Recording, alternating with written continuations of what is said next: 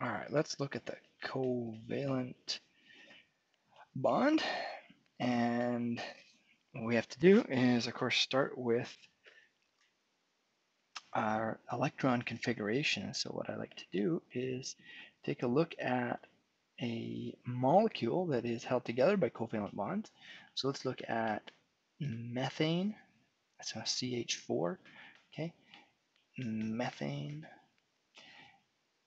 And sometimes you may have seen it sketched, or you will see it sketched like this in, in one plane, in two dimensions. Okay, that's not actually what the molecule looks like, but it's a decent mm, way of depicting it for these purposes. So we've got carbon, these dashes, these solid dashes, um, connected to these hydrogens, and that's that's one molecule.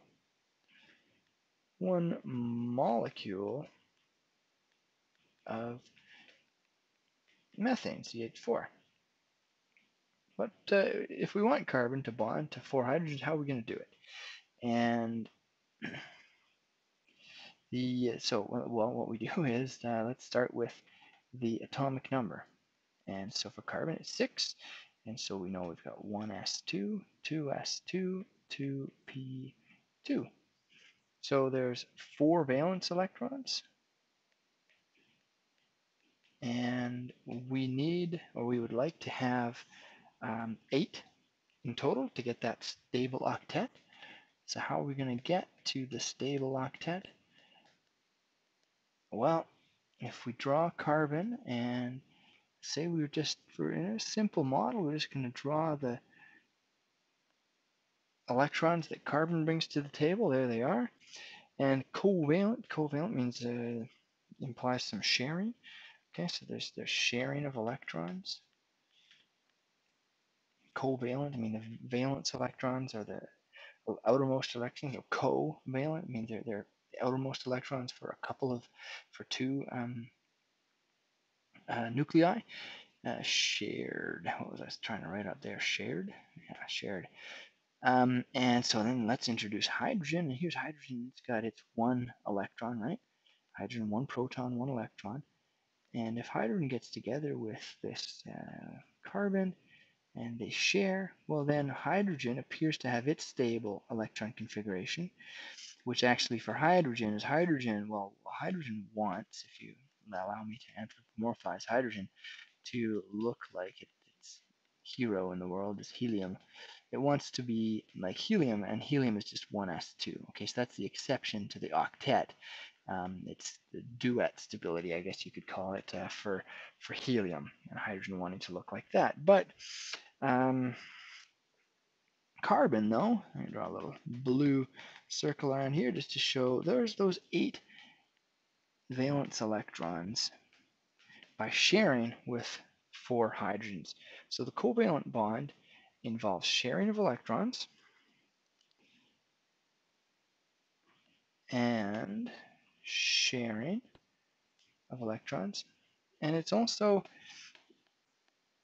uh, between specific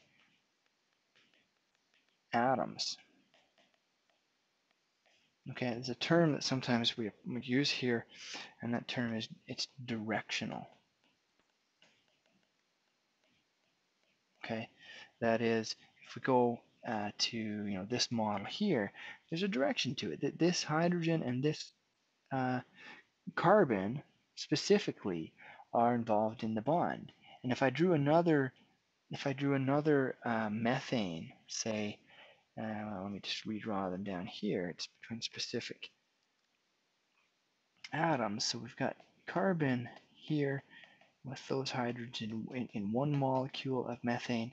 And if I drew another molecule of methane here, there would be no covalent bond between this hydrogen and this one. That'll be a secondary bond. We'll get to that later. But there's it's, it's specific. And not only that, that'll be an interesting contrast to the ionic bond, which we'll cover later. Also, because it's shared, because it's shared, you can say, well, is, is a covalent material going to be um, conductive? Well, the electrons are bound to these nuclei. So here we go. This carbon has got a hold on those eight electrons. They're bound tightly to the nuclei. And so there's no electrons available to conduct electricity. or even heat. And so covalent materials are typically uh, insulators,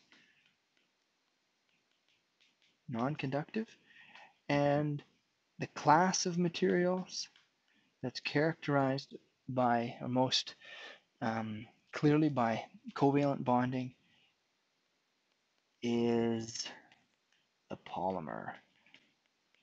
Okay.